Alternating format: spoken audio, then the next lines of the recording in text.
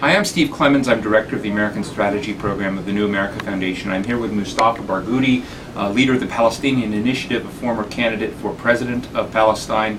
Uh, thanks for being here with us. I want to ask you something today. Barack Obama gave a speech in Berlin, but he also recently visited and spent some time in Israel. As I understood, he spent about 32 hours in Israel and 45 minutes uh, on the Palestinian side. But um, you shared with me some thoughts about talking about walls, walls between societies, walls between cultures, and uh, Sherry. I just happened after having a meeting to watch him speaking in Berlin, and he gave a fantastic, very exciting speech. But one thing he said in Berlin that walls should be abolished and they should not exist between Muslims, Christians, and Jews.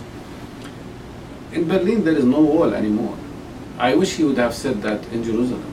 I wish he would have said that in Palestine, where we have a wall that is three times the length of Berlin Wall and twice as high as it was, to convince people that a wall is not a solution of any problem.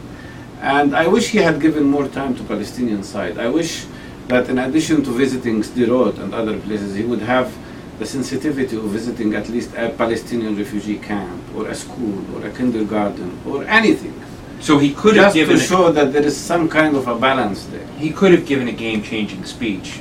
Yes, and In- he should in have. I sh- he should have spoken about the wars also there because I share his views about everything. But he cannot have changed everything. Uh, he, he cannot have a change program in every place in the world, but exclude the Middle East. He cannot have a new approach to every other problem in the world, except the Palestinian issue, where he he, he, there is a risk that he will just bring the same old tools and the same old approach. What he should understand, and I hope what American people and also Israeli people would understand, because I care for both people, Palestinians and Israelis, is that we are at the edge of losing a historic opportunity of two-state solution.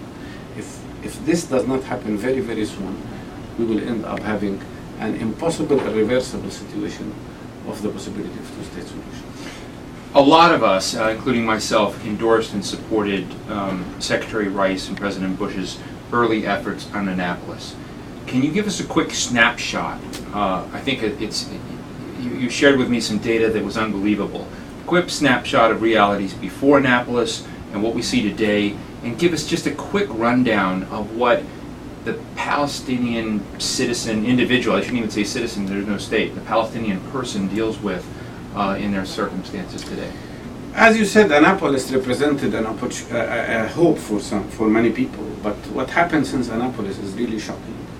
Since Annapolis, the rate at which Israeli settlements expand in the West Bank is 20 times more than before. Since Annapolis, the number of Israeli military checkpoints have increased from 521 to 607. 521 to 607. 607. That's the results of the involvement of Tony Blair, who was supposed to improve the freedom of movement. Since Annapolis, the number of Israeli attacks on Palestinians have increased by 300%. Since during the whole year of 2007, 404 Palestinians were killed and 10 Israelis or 15 Israelis were killed. During the period since Annapolis, more than 520 Palestinians were killed, including 70 children in reality, what you have on the ground is unfortunately the evolution of something that can only be described as an apartheid system. Palestinians are prevented from moving around, more checkpoints on the ground, a wall that is cutting people from their work, from health services, from education. 85% of Palestinians did not leave their districts during the last six years. You have 11,000 people in prisons, and uh, more than that, you have a system which discriminates in such a bad way. A Palestinian citizen on average is allowed to use only 50 cubic meters of water per capita per year, while an Israeli, an Israeli illegal settler can use 2,400, 48 times more than Palestinians. An Israeli on average makes 11, uh, 11 makes $24,500 per, per capita per year, a GDP of $24,500, while a Palestinian makes only $1,000. But we are obliged to buy products at Israeli market price because we have this tax and market union. We have to pay twice the amount of money that Israelis pay for electricity and water. And the most drastic thing that has happened recently is segregation of roads. many main roads now inside the West Bank, I'm not talking about Israel, can only be used by Israeli army or Israeli settlers. If I am a member of parliament, caught driving or walking on any of these roads, I would be sentenced to six months in jail. I was born in Jerusalem.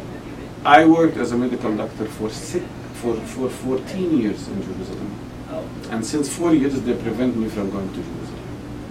Mustafa, it's a bleak picture. I want to thank you for being with us. I think about this issue of transportation. The last time we met, I couldn't get in to see you in Ramallah. You couldn't get in to see us uh, on the uh, Jerusalem side, and so we met at a gas station on a road uh, uh, outside of Jericho. And so um, I hope I hope we can meet here more often, and I hope the situation gets better. Thank you very much. And I hope next time we can meet in a more decent place in Palestine. Okay, thanks.